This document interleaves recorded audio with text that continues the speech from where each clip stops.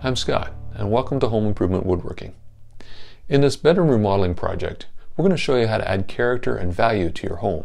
In the previous episode, I took old sliding doors out, framed this in, and installed these fixed doors to really dress up the closet.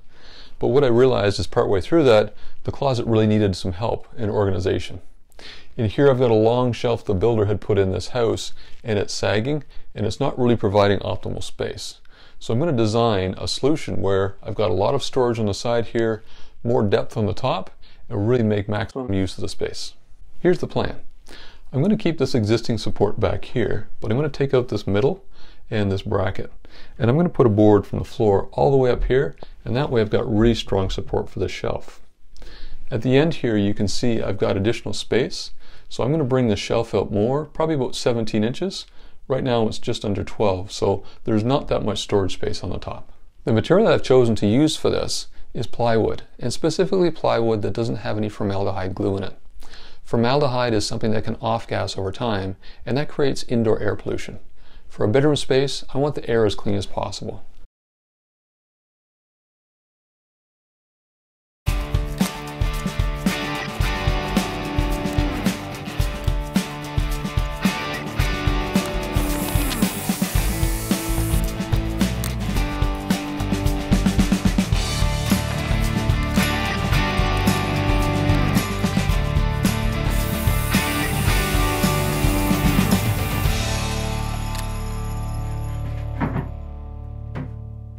I can mark my height of my upright here and I just mark it here, cut that off and I should be good to go. With this upright panel the right length, I now need to notch it back here, remove this old support piece and notch it at the baseboard. In order for me to figure out where this piece goes, I have to put this shelf in first. This allows me to get a nice tight fit here and then this one I just make plumb.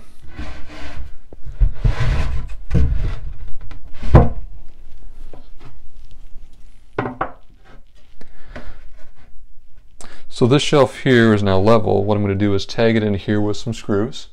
And then on the other side, I use a strip like this against the wall to build a little shelf, and that'll secure it in. This is the strip I want to secure, so I need to find the studs.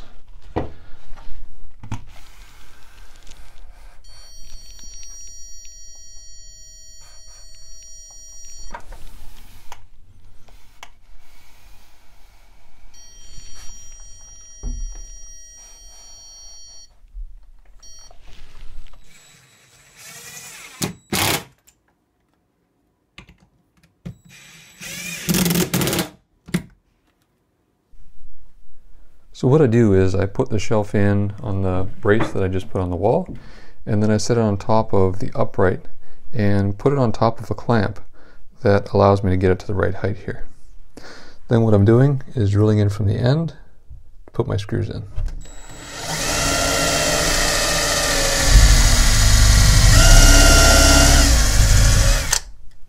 Now what I do is level this up so I've got it plumb straight up and down and then tag it in here with a screw.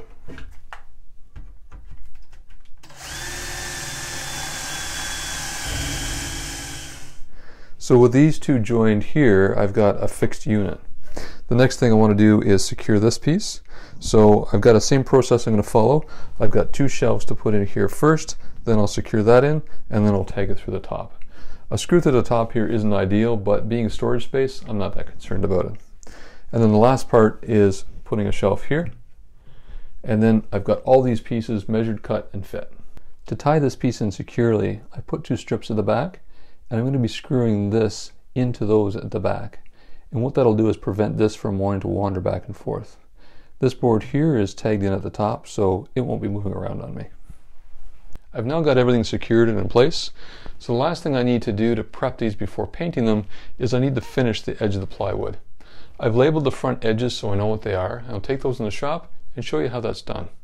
Once I've done finishing the front edges, then I can go through and prime everything and paint everything. Again, I'm concerned about the indoor air quality in this room, so I'm using no VOC paint. That's volatile organic compounds. Those are things that can create indoor air pollution. So with no VOC primer and paint on this, I've got a shelving unit that's as clean as possible for this bedroom. Installing edge banding on plywood is a fairly simple process. It's really just ironing it on. But there are a few steps that'll help make it easier. The first step is I use a sanding block and just clean down that edge and keep the sanding block nice and square. Hold your hand here to help guide it and just gently push this along. That'll just get rid of any fuzzy marks that are on the plywood from when it was cut. Then what I do is cut a piece that's a little bit longer than what I'm working with so I don't end up with a spool. So I just spread this out along the whole length and then cut it with shop scissors. So with the iron set to a cotton setting and no steam, you want to dry iron, set this on here and make sure that it's centered as you go. So I start at the very end and just slowly work my way, pushing down and helping to squeeze out that glue. The iron activates the glue and it sticks to the edge of the plywood. Once the glue's dried here, meaning it's nice and cool, you can then trim the edge. And you can sand it off if uh, you don't have any tools to be able to plane down the edge. Uh, sanding block will work. But my favorite tool is this, and it's actually meant for edge banding. It's uh, spring loaded and it's got cutting heads in here. So all I need to do is put it over the edge, squeeze it, and then pull. And it trims off the exact amount that you need. To cut the end, I use a sharp blade and run it underneath, and I put a scrap on top just to give it some support.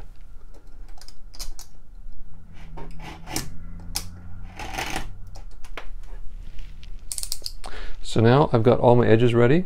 I'm going to sand these, prime these, and paint these, and I'm ready for the install. I've got all the parts painted and ready to assemble. So let's get to it.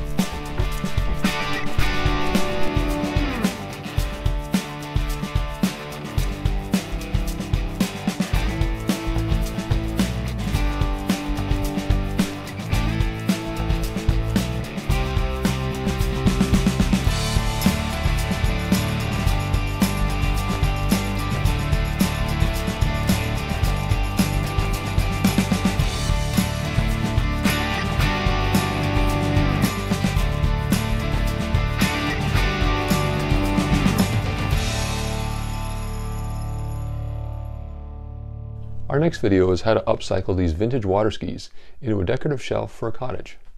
If you'd like to see when this comes out, click on the subscribe icon over here and click on the bell icon.